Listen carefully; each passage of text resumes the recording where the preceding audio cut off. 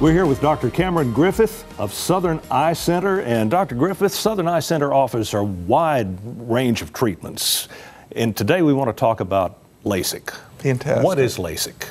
So LASIK is using a laser to reshape the cornea to help you see better. Who is a candidate for LASIK? So anyone over the age of 18 to 21 who wears glasses or contact lenses that has a healthy cornea is a candidate for LASIK. Okay, what sort of results can somebody expect from LASIK? We're shooting for 2020 or better, and uh, 95% of the country is getting that, and our numbers are up upwards of 98%.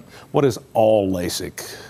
All laser LASIK. All laser LASIK, okay. Heretofore, uh, LASIK was done uh, using a microkeratome, which is a blade, to create the flap uh, where you uh, perform the LASIK under.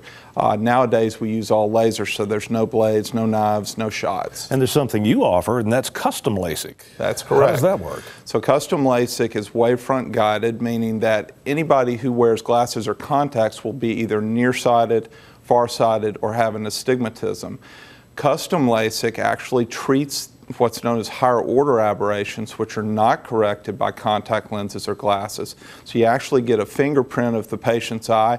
You get them potentially seen better than they would with glasses or contacts. You're fellowship trained. Is that important? Why?